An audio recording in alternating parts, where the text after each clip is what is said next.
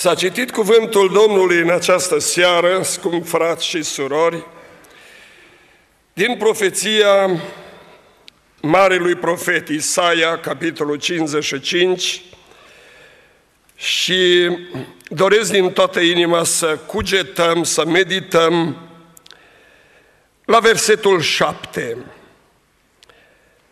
Capitolul 55, Isaia, versetul 7 să se lase cel rău de calea lui și omul nelegiuit să se lase de gândurile lui și să se întoarcă la Domnul care va avea milă de el, la Dumnezeul nostru care nu obosește iertând. Gândurile fiecare dintre noi trăim în lumea aceasta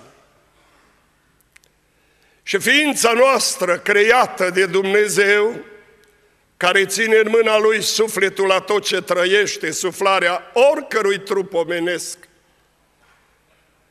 părțile componente ale ființei noastre este Duhul, sufletul și trupul. Și în mintea noastră se încuibăresc 24 din 24 de ore multe gânduri. Multe gânduri, multe cugete. Gândim multe lucruri unii despre alții. Judecăm multe. Ne gândim la multe lucruri în lumea aceasta, planuri, scopuri, intenții. Sunt gânduri care, sub privirile ochilor lui Dumnezeu, care cunoaște totul și sub privirile ochilor lui totul este gol și descoperit, înaintea ochilor aceluia cu care avem a face.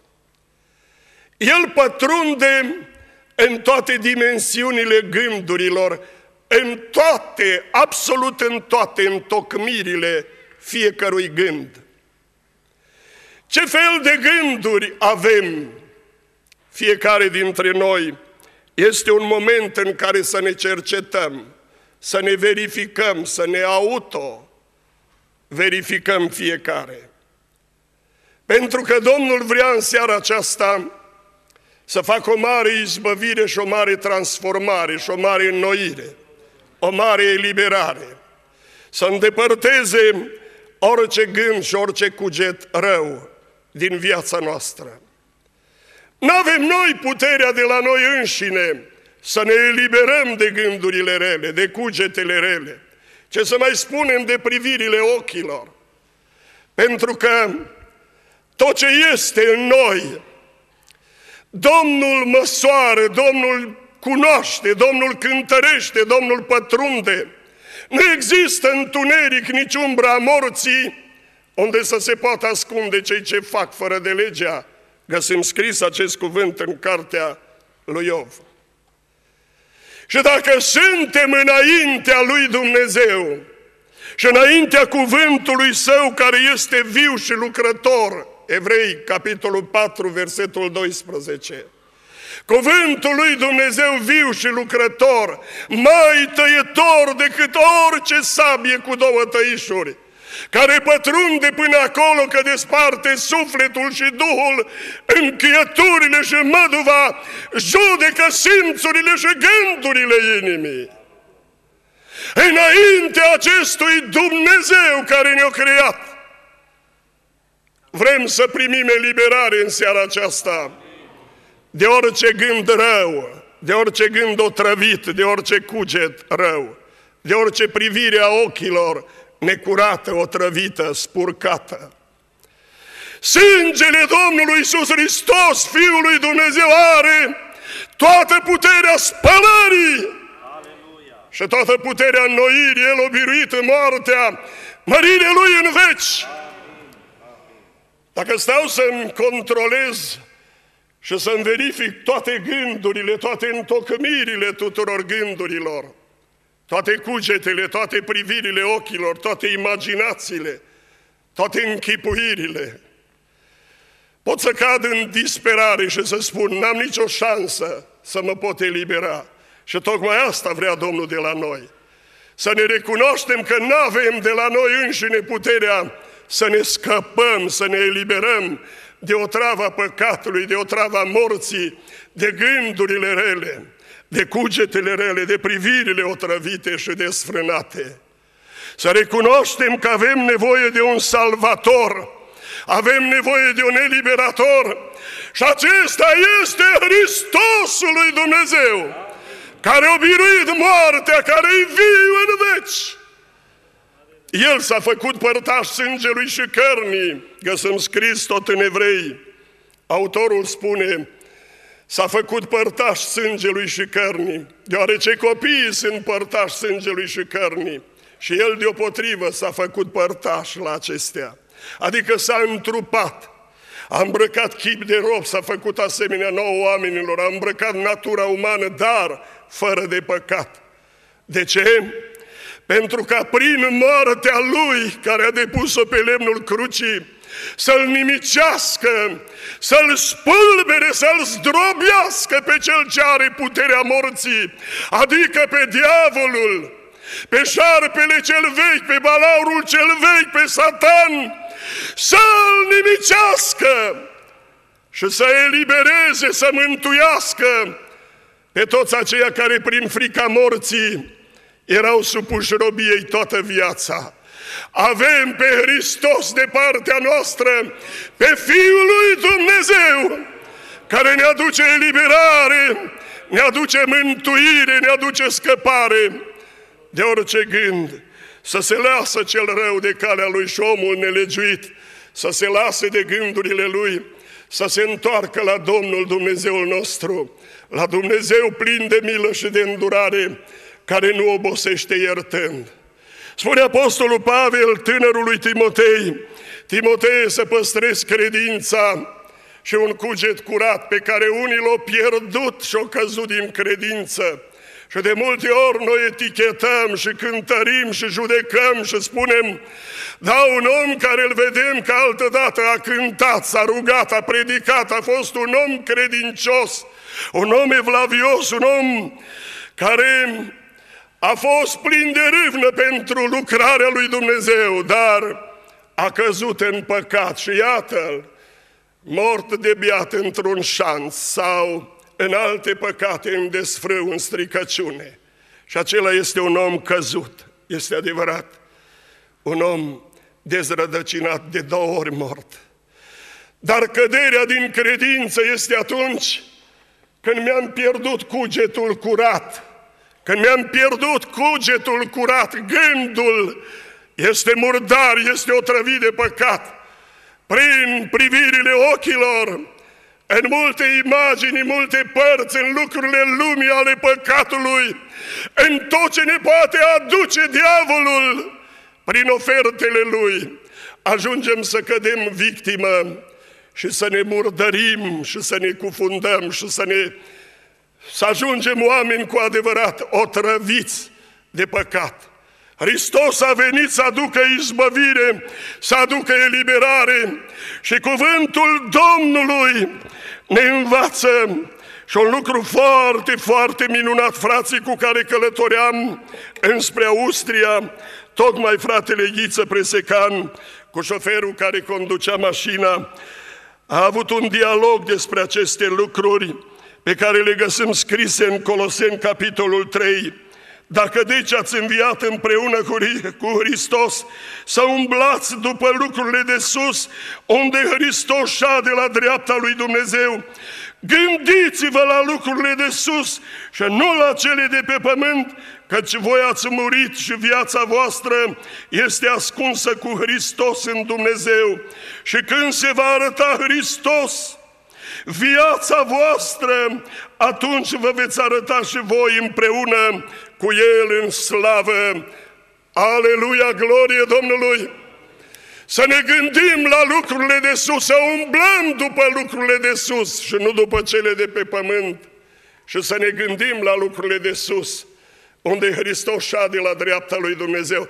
Dorim veșnicia, dorim să moștenim împărăția nemuririi și a neputrezirii cu Hristos, vrem să se coboare în seara aceasta cântarea din glorie, cântarea eliberării, cântarea izbăvirii, cântarea înnoirii, cântarea biruinței.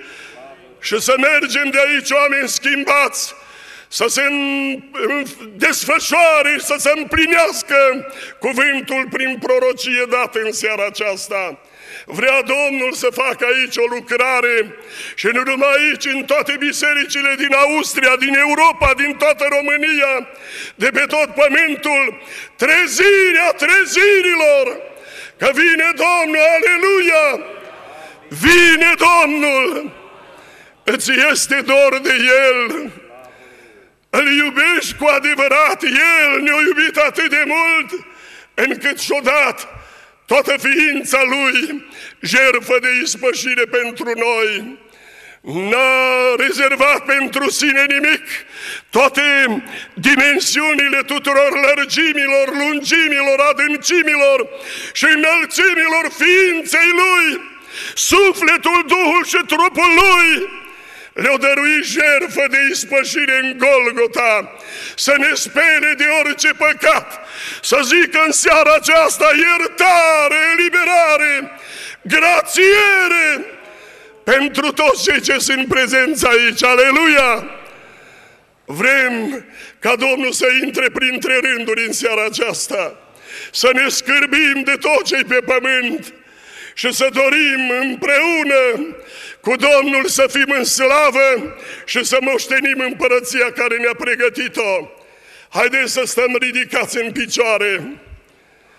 Vrei cu adevărat să cânți o cântare nouă? Și cântarea aceasta să fie cântarea eliberării sufletului, Duhului și trupului tău de orice păcat. Vrei să-ți curățească Domnul gândurile și cugetele? Vrei să-ți înnoiască Domnul mintea și ochii? și mădularele trupului tău să nu mai fie roabe ale nelegiuirii nascuns în păcat, în stricăciuni și să fie unelte ale neprihănirii, să fie un vas de cinste și trupul tău să fie templu Duhului Sfânt. Rosala pe raidies.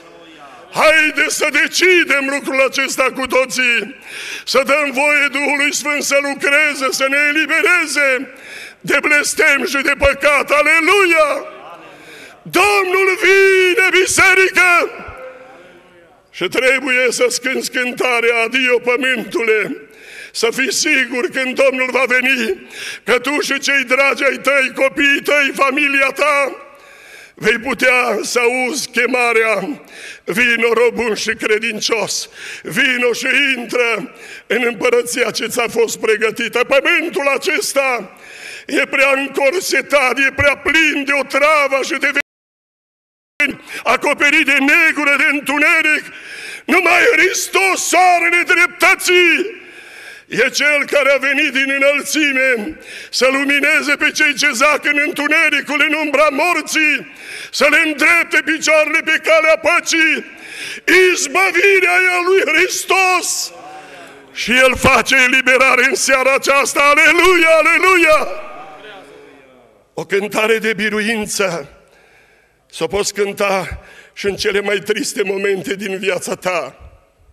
Anul trecut, la sfârșitul anului, am avut un nepoțel în Benidorm, în Spania, după ce a fost operat de 13 ori pe creier, de la vârsta de 7 ani și până la 11 ani, în timp de 4 ani, a trecut de 27 de ori prin chirurgie, prin operație. 13 a fost pe creier, a câte 10-12 ore.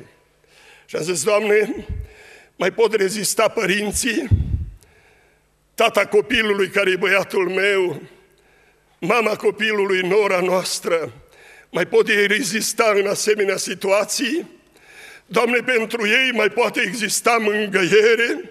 Puneți-vă în situație, mame, tați, Stați de 13 ori la ușa salonului de chirurgie, a câte 8, 10, 12 ore. Să aștepți în fiecare bătaie de inimă, iese chirurgul și spune s-a terminat cu viața. Și acolo copilul stând sub aparate și la sala de operație, și cât și la terapia intensivă, sub aparate, sub oxigen, a început să vorbească cu îngerul care îi se arăta și își spunea că va fi dus în locul de strălucire, în locul fără cuvinte, splendid, de bucurie nespusă, și a început să strige către înger și să-i spună, a auzit medicii, a chemat părinții, ascultați ce vorbește copilul. Vorbea în spaniolă și îi spunea îngerului, întoarce-te și vino în lumea mea și du acolo în țara ta și în lumea ta unde mi-ai promis că mă vei duce, e atât de bine la tine. Ce vorbește copilul acesta la 11 ani? Și când și-a terminat ultima suflare și Domnul l-a luat și l-a dus acolo unde i-a arătat locul că va fi dus.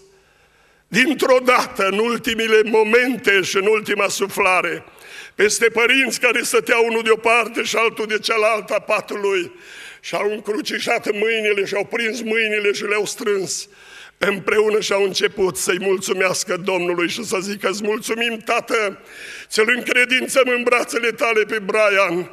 Și peste ei a venit puterea Duhului Sfânt și au început să cânte o cântare de biruință, o cântare prin Duhul Sfânt.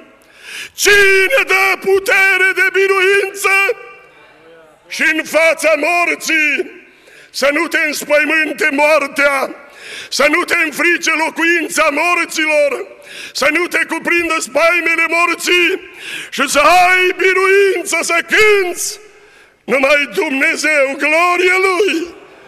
Poți să cânți biruință și în încercări și în suferință, dar poți să cânți și plin de bucuria mântuirii. În harul Domnului când El se așează pe creștetul tău porumbelul alb, porumbelul din veșnicii, să te facă să cânți, să-L preamărești pe Hristos, să dorești împărăția Lui, patria Lui, ne dor de veșnicie, ca ranei de balsam și în inima în pustie, vreau pacea ta să o am. Vreți, frați și surori, să-L chemăm pe Domnul să ne facă cu adevărat plin de Duhul Sfânt, să coboare cântarea de biruință, să coboare mantaua Duhului Sfânt și să se așeze pe umerii slujitorilor, a păstorilor, a prezbiterilor, a evangeliștilor, a cântăreților, a tuturor de aici. Aleluia, aleluia! Să intrăm cu toții în rugăciune și Domnul să se proslăvească și apoi, după ce ne eliberează sufletul și Duhul și ne-l tămăduiește prin sângele și prin jertfa Lui de pe cruce, să se îndure la urmă și de cei bolnavi și să vindece de orice fel de boală, de orice fel de neputință. Mărire Domnului în veci! Amin. Anul trecut la o bătrânică de aproape 80 de ani, 78 de ani, care era dusă la spital întrucât s-a îmbolnăvit foarte grav cu un picior și probleme foarte grave la genunchi. Medicii specialiști din Cluj au scris pe bază la ceea ce au constatat la RMN, la radiografie, la ecografie, la toate investigațiile, patru diagnosticuri, unul mai grav decât celălalt. Și a spus, nu-i nicio șansă să-ți mai putem salva piciorul. Nu mai puteau să se scoale, nici să se ducă până la toaletă decât dusă de alții, de cei din familie, de copii, de nurori. Și a fost adusă la biserică cu mașina și a spus, trebuie că este pregătită și este planificată pentru operație. Haideți să o chemăm, să o înconjurăm cu toată adunarea. Toți să fim uniți și să ne rugăm. Domnul poate să se atingă de piciorul ei și să o vindece. Să nu-și piardă piciorul, să tămăduiască Domnul. Și Domnul s-a prezentat, glorie Lui! S-a prezentat în așa măsură încât i-a început toată, toată, parcă era ca o minge, toată sub presiunea Duhului Sfânt, sub curenții Duhului Sfânt. Domnul a turnat puterea de vindecare ungând-o cu un de lemn în numele Domnului, a mulțumit Domnului. Și marțea, după a treia zi, s-a dus din nou și s-a făcut din nou ecografie și toate investigațiile. Și medicul uimit spunea, extraordinar, cu mâna mea am scris acele patru situații foarte complicate. Și acum, bunicuță, niciodată n-am avut un genunche mai sănătos ca genunchele tău. Ce s-a întâmplat? E o minune! E minunea lui Hristos! A lui e toată puterea, slava, cinstea! Haideți să ne unim, să vindece în primul rând Domnul sufletul și Duhul și când ne vom ruga pentru bolnav să vindece bolnavii, să cântăm cântarea de biruință, aleluia! Cu toții intrăm la rugăciune. Glorie ție!